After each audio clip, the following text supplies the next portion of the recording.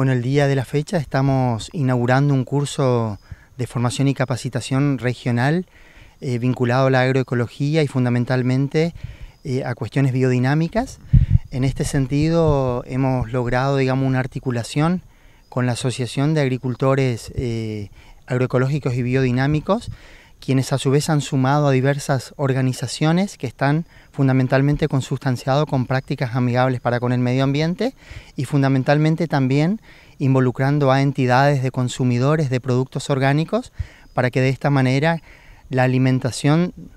del conjunto de la sociedad a la cual nosotros llegamos y pretendemos llegar a futuro pueda ser mucho más sana y saludable. Eh, nosotros venimos trabajando desde el año pasado en la factibilidad cierta de poner en marcha este curso de formación que tiene eh, una duración de dos años. Eh, van a ser cinco encuentros de dos días aquí en el campo experimental y a su vez entre cada uno de esos encuentros habrá una instancia donde los participantes estarán vinculados a una chacra de productores biodinámicos. Por lo tanto es una capacitación fundamentalmente teórica con una fuerte articulación práctica. Eh, lo que nosotros eh, pretendemos con, esta iniciativa, dado que nuestra institución tiene la orientación eh, medioambiental, es poder forjar y fortalecer, digamos, los distintos trabajos que venimos impulsando desde nuestra casa de estudio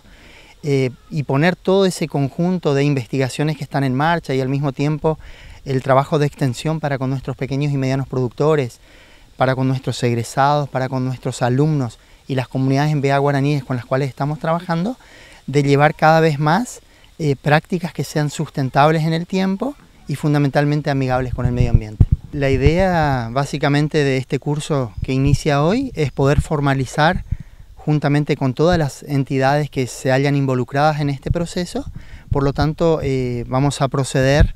eh, a la firma de un convenio interinstitucional y de cooperación recíproca, donde cada una de las partes involucradas están aportando recursos humanos, en nuestro caso particularmente la infraestructura y el equipamiento para que cada uno de estos encuentros se puedan materializar aquí en el campo.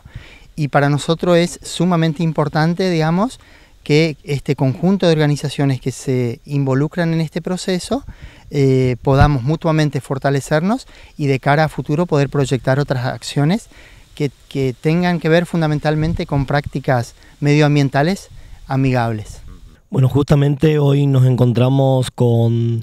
diferentes organismos de acá de, la zona y digamos también inclusive a nivel nacional. Venimos a dar el primer paso eh, de un trabajo de un convenio de cooperación que vamos a firmar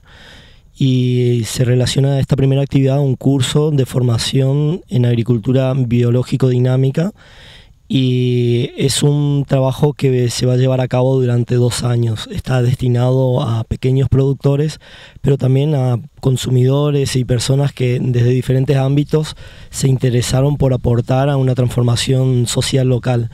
Principalmente es una, una búsqueda que, que bueno, eh, se venía teniendo ya desde hace varios años y bueno, gracias a, la apertura también del profesorado de, ciencias agrarias de Capioví, a la cooperativa La Abundancia, a la, Asociación Nacional de Agricultura Biodinámica, la ABDA,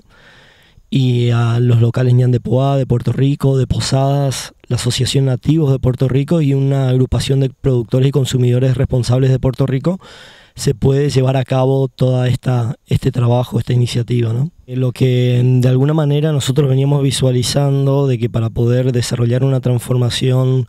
social productiva local tendríamos que empezar a involucrar y a vincular también a diferentes